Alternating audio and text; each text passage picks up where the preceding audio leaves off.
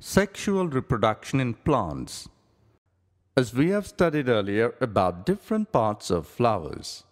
In flower, sepals and petals are non-reproductive parts, whereas stamens and carpels are the reproductive parts of a flower because they contain germ cells.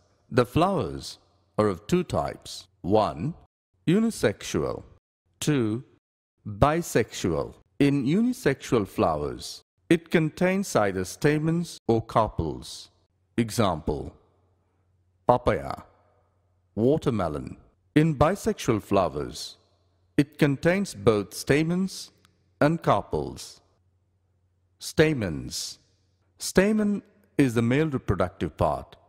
It produces yellowish colored pollen grain. Carpels. Carpel is the female reproductive part, which is present in the center of the flower. As we see in the image, we can notice a swollen bottom part in the center of the flower, which is called as ovary. The middle elongated part is called as style, and the terminal part at the top of the flower is called as stigma, which may be sticky. Inside the ovary, it consists of ovules, and each ovule has an egg cell, which is the female gamete.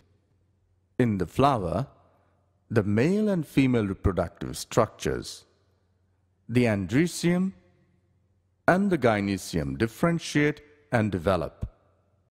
As you had studied in the previous classes, that the androecium consists of a whorl of stamens representing the male reproductive organ and the gynoecium represents the female reproductive organ.